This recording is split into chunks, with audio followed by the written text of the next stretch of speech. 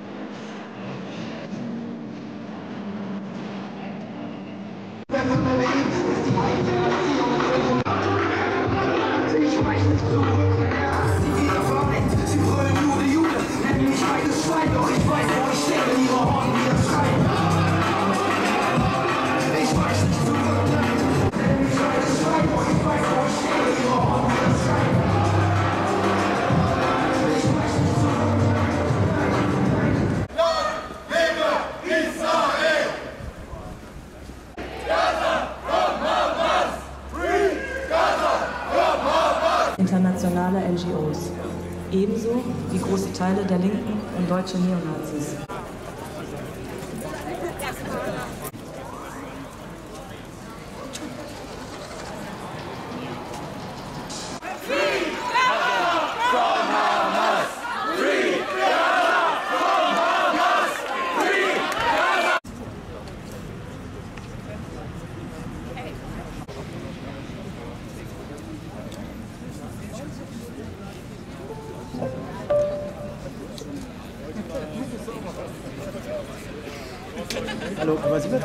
Warum Sie heute hier sind für die Nachrichten? Ja? Liesal, geboren in 20er Jahren, abgeschoben nach Polen, deportiert April.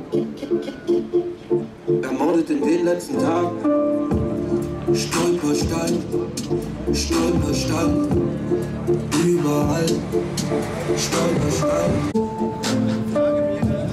Sonne geht auf, sitze Magazin, atme und brauch.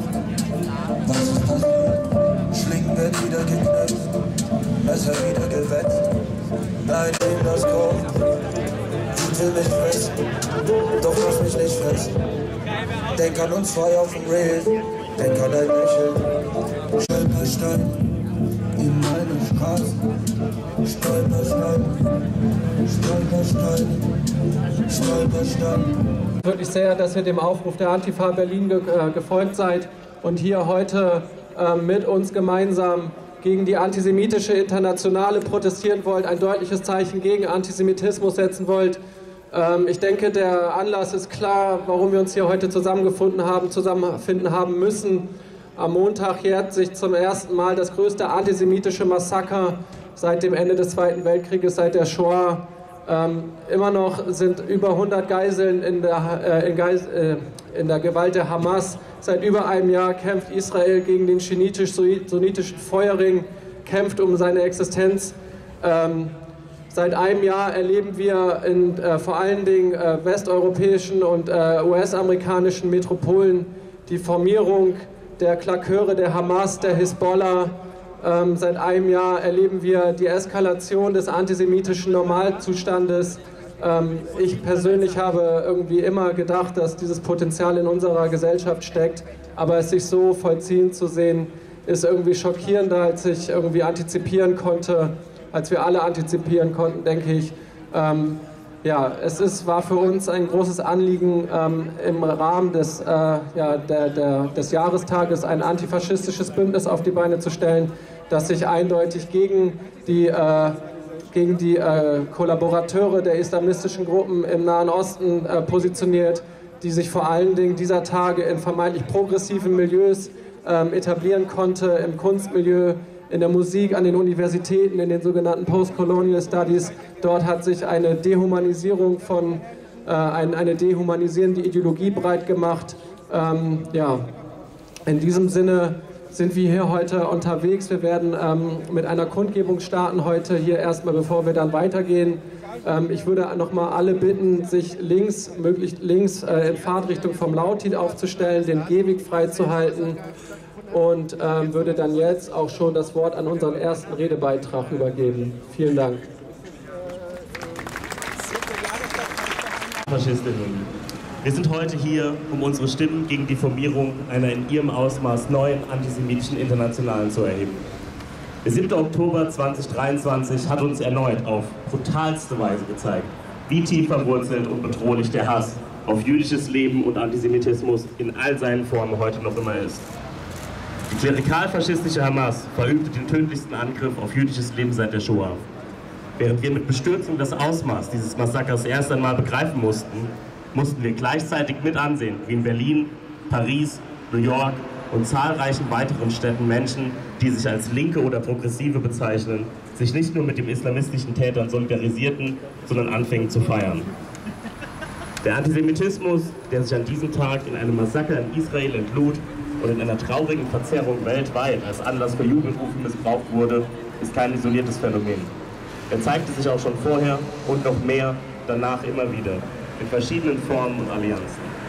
Wir beobachten es schon lange, wie sich Allianzen zwischen vermeintlichen Linken und Islamistinnen bilden und sich spätestens seit dem 7. Oktober immer rasanter weiter ausbreiten.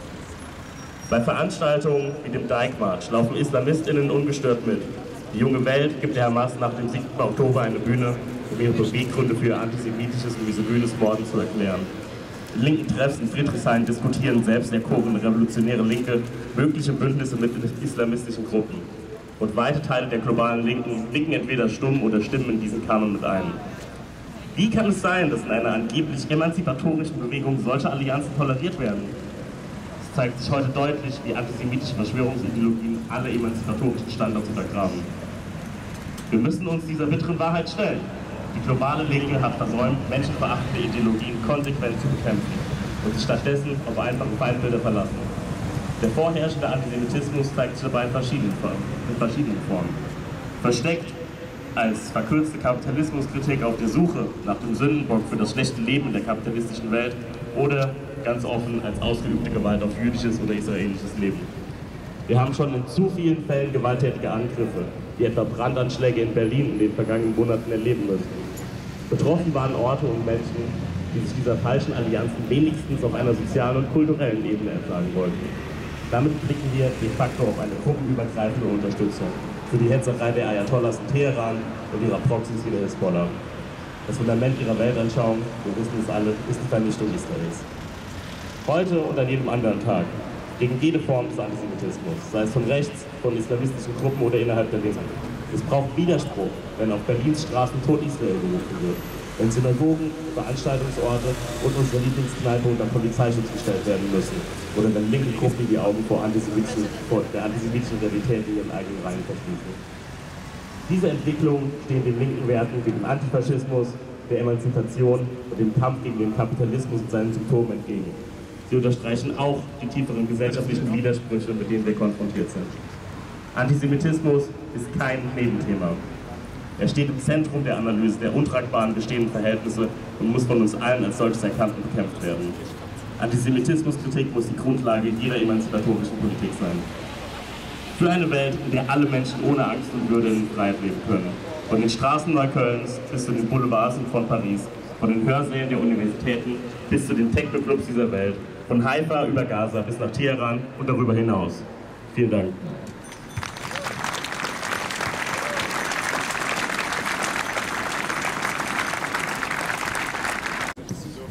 Liebe Freundinnen, ich kann heute nicht bei euch sein, aber meine Gedanken und meine Solidarität sind mit euch, mit allen, die hier stehen und für Freiheit, Gerechtigkeit und ein Ende der Gewalt zu kämpfen. Ein Jahr ist der 7. Oktober her und gerade aus einer kurdischen Perspektive gilt es, den geschichtsrevisionistischen und antisemitischen Konsens zu brechen. Denn es sind immer wieder dieselben Ideologien, die für Leid und Elend sorgen. Wir alle wissen, der Kampf um Freiheit ist universell und kann eine und kaum eine Region ist so stark durchdrungen von kolonialen Strukturen wie, die, wie der Mittlere Osten. Besonders Kurdistan, ein Land, das sich zwischen vier Staaten aufgeteilt ist, leidet unter kolonialer Unterdrückung. Dies zeigt sich nicht nur in den Handlungen dieser Regime, sondern auch in den Ideologien, die diese Machtstrukturen stützen. In Form von islamischen Faschismus und türkischen, iranischen sowie arabischen Nationalismus. In Iran erleben wir das beispielsweise auf brutale Weise. Der Mord an Gina Massa Amini hat nicht nur den feministischen Kampf der kurdischen Frauen wieder ins Zentrum gedrückt, sondern auch gezeigt, wie der, wie der faschistische Islamismus des iranischen Regimes ein, Regimes ein Leben in Freiheit und Selbstbestimmung erstickt. Die Frauen im Osten Kurdistans, Rojilat, kämpfen nicht nur gegen patriarchale Gewalt, sondern auch gegen ein Regime, das mit imperialen und faschistischen Mitteln jede Form des Widerstands zu brechen versucht. Aber der Feind kommt nicht nur in religiöser Kleidung. Arabischer Nationalismus als eine weitere koloniale Machtstruktur ist ebenso zerstörerisch. Auch er hat jahrzehntelang versucht, Kurdistan zu unterdrücken, ob in Syrien, Irak oder anderswo. Der Nationalismus, der kurdischen Identität und Geschichte auslöschen will, ist eine weitere Form kolonialer Gewalt, die wir nicht hinnehmen dürfen. Von Vergasungen, Massendeportationen und Femiziden wird durch diese Akteure zudem deutlich, dass die Mehrheit des Nationalismus nur ein europäisches, europäisches Problem ist, entschieden zu widerlegen ist. Der europäische und arabische Nationalismus arbeiten und arbeiten Hand in Hand. Während wir heute hier zusammenstehen, dürfen wir nicht vergessen, dass auch der Kampf gegen den islamischen Staat noch lange nicht vorbei ist. Die kurdischen Frauen, die in Rojava ihr Leben riskiert haben, um uns alle vor den Verbrechen des IS zu schützen, wissen, was es bedeutet, unter der Bedrohung eines islamischen Terrors zu leben. Diese Frauen wissen, was es bedeutet, ihre Heimat, ihre Familien, ihre Freiheit verteidigen zu müssen, nicht nur gegen den IS, sondern gegen alle Formen der Gewalt, die ihnen aufgezwungen werden. Aus diesem Grund ist es umso wichtiger, dass wir heute auch die Zivilisten, besonders die Frauen in Israel, nicht vergessen, die am 7. Oktober angegriffen wurden und die Geiseln, die bis heute gefangen gehalten werden. Unsere Solidarität kennt keine Grenzen. Die Frauen in Kurdistan, die sich gegen die Barbarei des IS gewehrt haben, stehen in Solidarität mit den Frauen, die Opfer der Angriffe am 7. Oktober geworden sind. Es ist unser gemeinsamer Kampf gegen Islamismus, gegen Faschismus, gegen jede Form der Unterdrückung. Und wir widersprechen entschieden jedem Diskurs, der behauptet, es gebe keine Gruppen im Nahen Osten, die diesen Kampf teilen. Die kurdische Freiheitsbewegung, die feministischen Kämpfen, die säkulären Kräfte, all diese Strömungen zeigen uns, dass es Menschen gibt, die für eine andere Zukunft kämpfen. Eine Zukunft, die nicht auf Hass, Gewalt und Unterdrückung, Unterdrückung beruht, sondern auf Freiheit, Solidarität und Gerechtigkeit. Wir lehnen die Darstellung ab, dass es im Nahen Osten keine Stimme gibt, die sich klar gegen die barbarischen Angriffe auf Zivilisten positionieren. Es gibt diese Stimmen. Und es gibt Kämpferinnen, die seit Jahrzehnten für genau diese Werte kämpfen, für Freiheit, Gleichheit und Würde. Wir wehren uns gegen einen Diskurs, der die Kurden, die Frauen und Rojava, die Menschen, die in Iran, in Syrien, in Israel und Palästina leiden, unsichtbar macht. Wir kämpfen nicht nur für uns selbst, sondern auch für die Freiheit und Sicherheit aller Menschen, die unter diesen kolonialen und faschistischen Strukturen leiden. Heute ist ein Tag, um sich zu erinnern, aber auch um sich zu organisieren. Lasst uns gemeinsam Widerstand leisten. Lasst uns unsere Solidarität stärken und lasst uns zeigen, dass wir eine Alternative sind zum Hass, der uns zu verschlingen droht. In dieser Solidarität, die keine Grenzen kennt, liegt unsere größte Stärke. Denn wenn wir zusammenstehen, dann sind wir unbesiegbar. Mit diesen Worten sende ich euch meine Solidarität und wünsche euch eine kraftvolle und erfolgreiche Demonstration. Biji Berkhedane äh, Jinan, Biji Azadi. Ein weiterer Dammbruch äh, in der Konstitution der antisemitischen Internationalen, wenige Meter von hier. Und danach wird Emma uns noch ein, äh, einen Beitrag äh, liefern. Vielen Dank. Stellt der Campus einen unsicheren Ort für viele jüdische Studierende dar. Doch die Bedrohungslage hat sich seit dem Terrorangriff der Hamas deutlich verschärft. Antisemitismuskritische Stimmen scheinen in der Minderheit zu sein, was dazu führt, dass es gerade für Betroffene besonders schwierig ist, ihre Perspektiven in Seminaren sichtbar zu machen. Mehr noch, wir nehmen wahr, dass nicht nur unter den Studierenden, sondern auch unter den MitarbeiterInnen der Universität eine Abwehrhaltung gegenüber einer tiefgreifenden Auseinandersetzung mit Antisemitismus und dessen Erscheinungsformen zutage tritt. Neben dem 7. Oktober ist unter anderem aber auch die Besetzung unseres Instituts für Sozialwissenschaften, an dem wir gleich vorbeifahren werden, ein weiteres einschneidendes Ereignis, welches offenbart, wie explosiv und salonfähig Antisemitismus geworden ist. Am 22.05. besetzten außeruniversitäre Aktivistinnen gemeinsam mit Studierenden und unter dem Deckmantel der Student Coalition Berlin das Institut für Sozialwissenschaften der Humboldt-Universität. Mitarbeitende wurden dazu aufgefordert, das Gebäude zu verlassen, während die Wände bereits mit roten Hamas-Dreiecken besprüht wurden. Gleichzeitig wurden Intifada-Aufrufe zur Straße hinausgebrüllt, um die vor dem Gebäude stattfindende Demo anzufeuern. Durch den russischen Propagandakanal Redstream konnte man ausgewählte Darstellungen aus der Besetzung live mitverfolgen. Die Forderungen der, der Besetzung an die Universität beinhalteten das Stoppen des vorgeblichen Genozids, einen Aufruf zu einer globalen Intifada sowie den kulturellen und akademischen Boykott Israels. Unter anderem sollten diese Forderungen am Folgetag bei einer friedlichen Podiumsdiskussion im Institut für Sozialwissenschaften zwischen den Besetzenden und einer universitären Delegation diskutiert werden. Trotz des naiven Versprechens seitens der Präsidentin von Blumenthal, die BesetzerInnen würden am Ende ohne Strafe das Gebäude verlassen können, räumte die Polizei schließlich das Institut. Und obwohl auch wir Polizeigewalt aufs Schärfste kritisieren, war es alarmierend zu beobachten, wie unter der Studierendenschaft sich die Diskussion vollkommen auf die Aktion der Polizei fokussierte. Dagegen wurde die eigene antisemitische Gewalt völlig ausgeblendet oder sogar legitimiert. Die für die Besetzung verantwortliche Student Coalition Berlin inszeniert sich als für den Frieden kämpfende linksradikale Gruppe. Lobpreisung der Al-Qassam-Brigaden an den Wänden, Forderung eines bedingungslosen Boykotts Israels sowie explizite Feindmarkierungen mit roten Dreiecken an den Büros einzelner MitarbeiterInnen zeigen jedoch die Gewaltbereitschaft und den Hass auf, mit dem Jüdinnen und Juden in der Universität gezielt bedroht werden. Dies ist nicht einfach das Nebenprodukt unaufgeklärter Aktivistinnen. Wir verurteilen diese Gewaltsymboliken und die fehlende Distanzierung von Beteiligten und Schaulustigen aufs Schärfste. Antisemitische Gewalt zu tolerieren, ist antisemitisch. Die wahrnehmbare Stimmung während der Besetzung und die der nachfolgenden Tage machte es notwendig, uns solidarisch und antisemitismuskritisch zu organisieren, um der vorherrschenden Stimmung etwas entgegenzusetzen. Es muss möglich sein, das Leid von Zivilbevölkerung anzusprechen und sich mit den Opfern von Gewalt zu solidarisieren, ohne dabei Antisemitismus in Kauf zu nehmen. Aus diesem Grund ist auch die Aufarbeitung der Besetzung seither ein wichtiger Schwerpunkt unserer Arbeit. Wir möchten die Entwicklung am Institut und den Prozess der Aufarbeitung kritisch begleiten. Wir fordern mehr antisemitismuskritische Bildung für Studierende sowie Weiterbildung für Mitarbeitende. Es kann nicht sein, dass insbesondere ProfessorInnen einer Berliner Universität die Verantwortung, sich mit Antisemitismus auseinanderzusetzen, von sich weisen.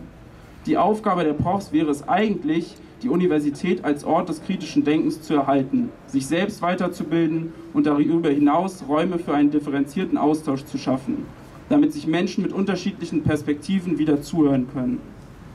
Die Uni hat es in den letzten Jahrzehnten versäumt, diese Bildungsangebote zu schaffen. Auch die sicheren Räume für Diskurs und Austausch gab es nicht und sie fehlen bis heute. Dementsprechend ist es auch nicht verwunderlich, dass bei den Nachbesprechungen der Besetzung in verschiedenen Uni-Veranstaltungen Lehrende überfordert davon schienen, sich klar von Antisemitismus abzugrenzen und diesen zu benennen. Dieser Zustand ist inakzeptabel und muss sich ändern. Und damit deckt sich das Bild der Antisemitismusblindheit an der Universität mit jener in der linken Szene, über die wir heute reden. Antisemitische Vorfälle innerhalb und außerhalb der Universität dürfen nicht unwidersprochen bleiben. Wir werden das nicht hinnehmen. Wir orientieren uns an der betroffenen Perspektive und wollen sichere Räume für jüdische bzw. antisemitismuskritische Vernetzung schaffen. Und im Gegensatz zu rechten Narrativen wollen wir in unserer Solidarität mit von Antisemitismus betroffenen Personen Antisemitismus und Rassismuskritik nicht gegeneinander ausspielen, sondern progressiv zusammendenken. Als Antifaschistin müssen wir in der Lage sein, Gleichzeitigkeiten zu verstehen und uns selbstkritisch zu hinterfragen. Denn während vermeintlich Linke sich mit der Hamas solidarisieren und mit ihrem Aufruf zu einer globalen Intifada einen Angstraum für Jüdinnen und Juden schaffen, werden migrantisch gelesene Personen unter Generalverdacht gestellt und rassistisch angefeindet. Dem müssen wir uns entschlossen entgegenstellen und dafür braucht es antifaschistische Bündnisse, die die Perspektiven von Betroffenen ernst nehmen. Dankeschön. Letztes Jahr äh, nach dem 7. Oktober an Chanukka oder kurz nach Chanukka einen Text geschrieben.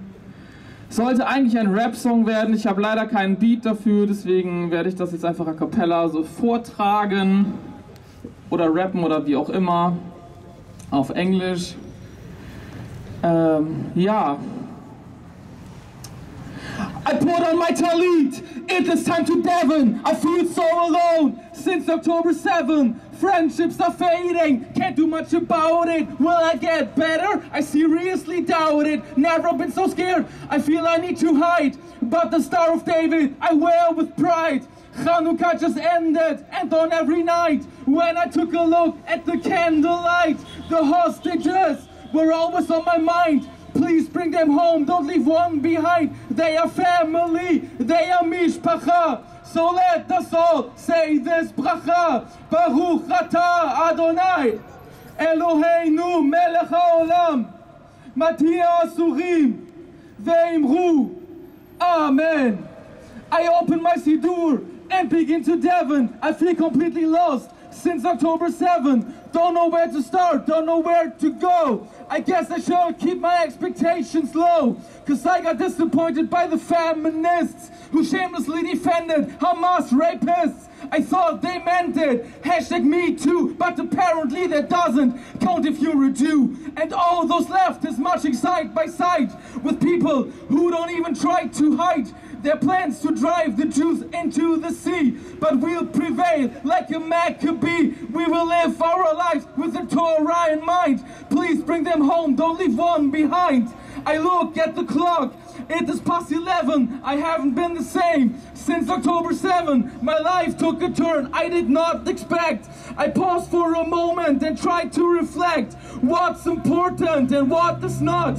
Lately I miss my mama a lot and I miss the comfort of a good friend giving me a hug or holding my hand. And I ask myself what to do with my time on this earth. And so far all I do is rhyme and it feels like everywhere I try to belong I don't fit in but I try to be strong. I go outside and I look at the sky it is blue and white.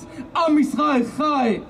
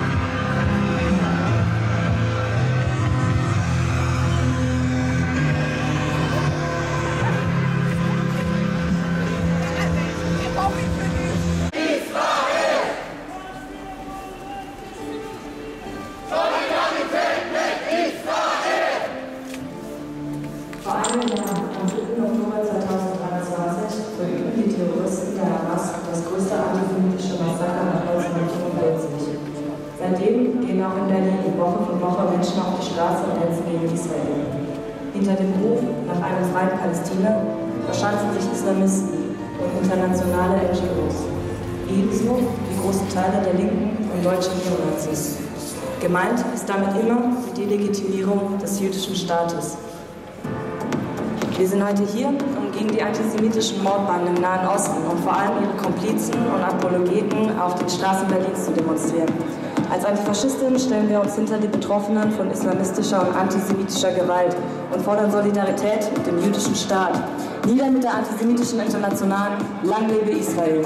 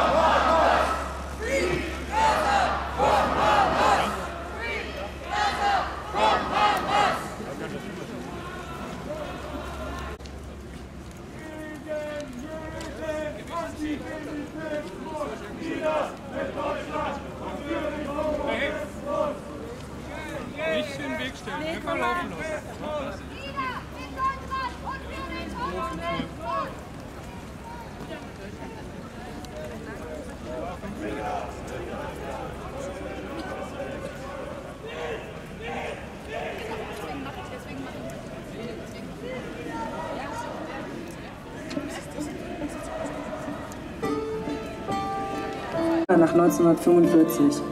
Seitdem gehen auch in Berlin Woche für Woche Menschen auf die Straße und hetzen gegen Israel. Hinter dem Ruf nach einem freien Palästina verschanzen sich Islamisten und internationale NGOs, ebenso wie große Teile der Linken und deutschen Neonazis. Gemeint ist damit immer die Delegitimierung des jüdischen Staates. Wir sind heute hier, gegen die antisemitischen Mordbanden im Nahen Osten vor allem ihre Komplizen und Apologeten auf den Straßen Berlins zu demonstrieren.